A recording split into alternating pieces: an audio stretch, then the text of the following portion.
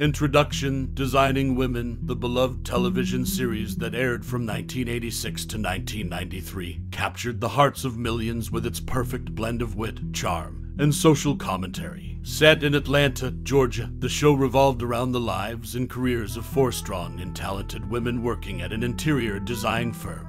Created by Linda Bloodworth Thomason, Designing Women tackled a variety of timely and often controversial topics, making it both entertaining and thought provoking. Why was Designing Women so popular?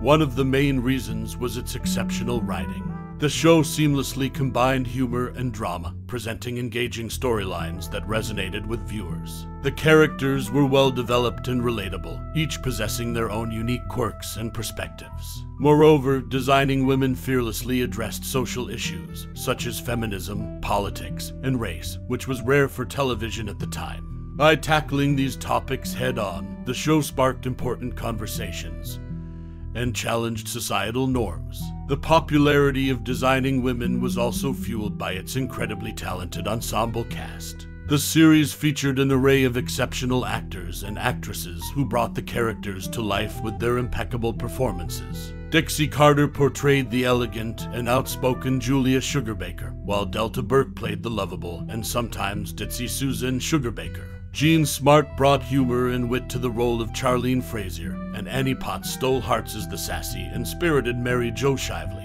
The chemistry among the cast members was palpable, creating a dynamic and captivating on screen presence. As we reminisce about designing women, it's hard not to get nostalgic for the memorable moments and clever dialogue that made the show so unforgettable. Whether it was Julia delivering powerful monologues, the hilarious banter between the ladies, or their unwavering support for one another, the series left an indelible mark on television history. Do you have any fond memories of designing women? Perhaps you laughed along with their witty one liners or admired their strong female friendships. Share your thoughts and let's celebrate this remarkable TV series together.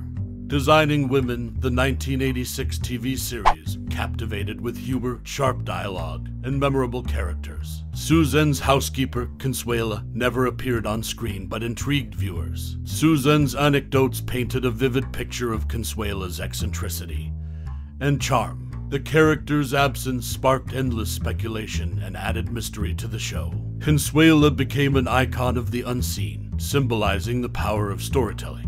Designing women's decision to keep her off screen allowed viewers' imaginations to run wild. Her absence became a running joke, teasing Suzanne and fueling the desire for the truth. Consuela's metaphorical presence showcased the human imagination's power. She left a lasting legacy, symbolizing the joy of discovering characters through storytelling. Designing Women and Consuela hold a special place in television history. The legendary housekeeper became an integral part of folklore, leaving an indelible mark on viewers' hearts and minds.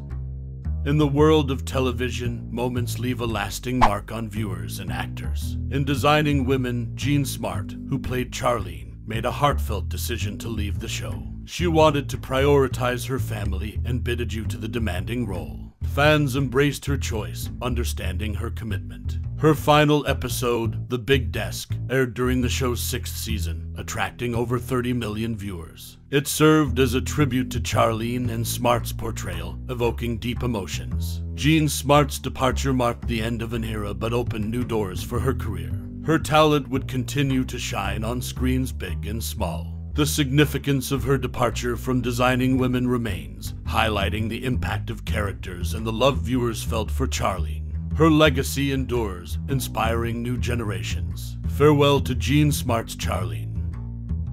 In the TV series Designing Women, Jean Smart stood out as the only cast member not born in